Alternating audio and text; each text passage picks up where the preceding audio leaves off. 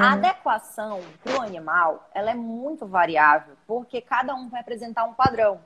Então, por mais que todos os anos, dermatologista, eu sei que esse shampoo aqui da linha dermatológica traz um bons resultados, pode vir em algum momento um animal que não vai responder, como acontece.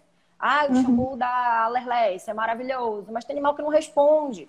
Então, a visualização do tutor em cima do próprio teste é superior a qualquer coisa que seja dita. Entende?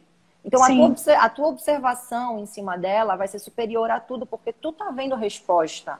Esse veterinário, por mais que ele seja bem estudado e etc., ele não tá todos os dias com ela.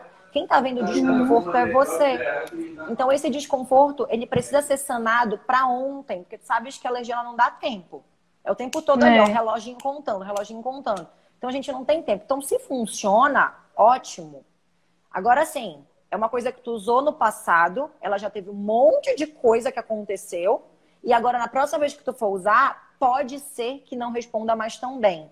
Então, te aconselho a comprar produtos menores, com quantidades menores e fazer teste diária.